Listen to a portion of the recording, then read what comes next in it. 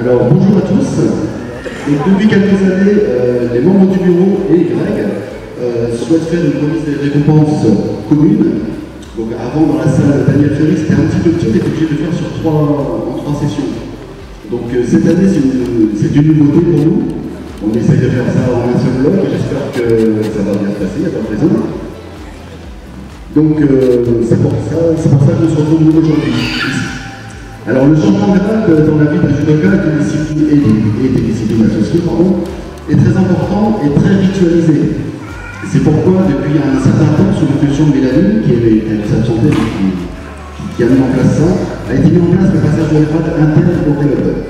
Passage qui est à peu près sur le principe identique au passage de, euh, qu'on va passer de la ceinture marron à la ceinture noire. Ça qu'on habitue nos, nos jeunes judokas à, à cet exercice. Ça permet aux jeunes de se familiariser avec cet examen. C'est aussi l'occasion de mettre en œuvre une partie de notre code- moral, qui est l'entraide, l'amitié et la discipline. Euh, maintenant, bah, je laisse, euh, euh, la, parole à Greg pour, euh, pour. Voilà, merci.